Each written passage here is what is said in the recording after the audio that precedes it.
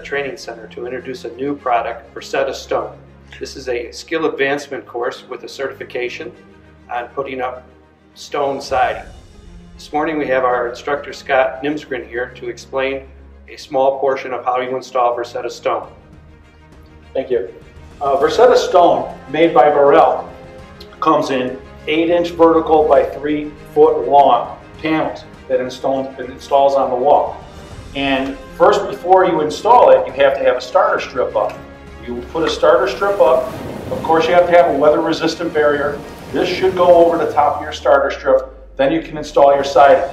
Drops into the starter strip. Want to make sure you have moderate contact with the panel.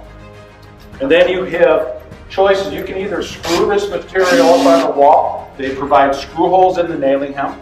Or you can nail it up right through the nailing hem. The panel must have four fasteners in it, two going into structural members. You'll notice on my corner, I have a bull nose situation here. This is the universal corner. On each one of the universal corners, we have a bull nose situation where the stone comes around the corner. This backs up to the cut edge. What this also does is it allows these same panels to be used for inside corners. So we run our bull nose into the inside corner. Then what we would do is we would bring our panel up and we would bump right into it, giving it a good appearance of an inside corner. Back to our outside corner, we have our cut edge here.